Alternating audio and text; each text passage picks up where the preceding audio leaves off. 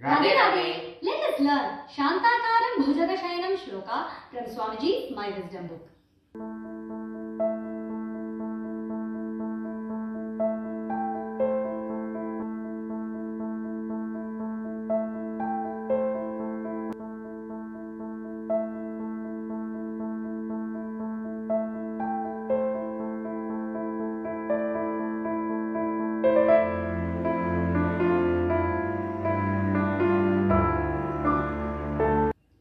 शान्ताकारं भुजगशयनं पद्मनाभं सुरेशम्।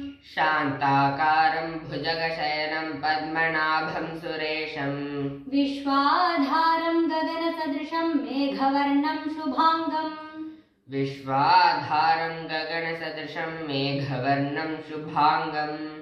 लक्ष्मीकान्तं कमलनयनं योगिभिर्ध्यानगम्यम् लक्ष्मीकान्तं कमलनयनं योगिभिर्ध्यानगम्यम्। वन्दे विष्णुं भवभयहरं सर्वलोकैकनाथम्।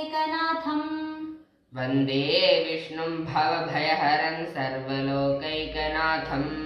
शान्ताकारं भुजगशयनं पद्मनाभं सुरेशं विश्वाधारं गगनसदृशं मेघवर्णं शुभाङ्गम् लक्ष्मीकान्तं कमलनयनं योगिभिर्ध्यानगम्यं वन्दे विष्णुं भवभयहरं सर्वलोकैकनाथम्। शान्ताकारं भुजगशयनं पद्मनाभं सुरेशं विश्वाधारं गगनसदृशं मेघवर्णं शुभाङ्गम् लक्ष्मीकान्तं कमलनयनं योगिभिर्ध्यानगम्यम् वन्दे विष्णुं भवभयहरं सर्वलोकैकनाथम् Let us read the meaning of the sloka from Swamiji's My Wisdom book. We celebrate Lord Vishnu, who is the home to serenity and peace, who rests on a bed of serpents and from whose navel a lotus stems. He is the chief of all celestial beings and the sustainer of the universe. He is infinite and endless like the skies and has a bluish complexion like the rain bearing clouds.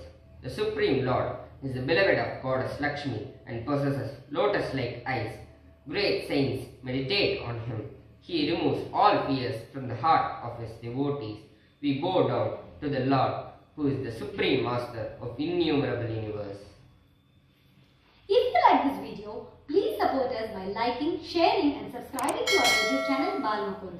Please do check out our Instagram page jcube.balmukund. Radhe Radhe!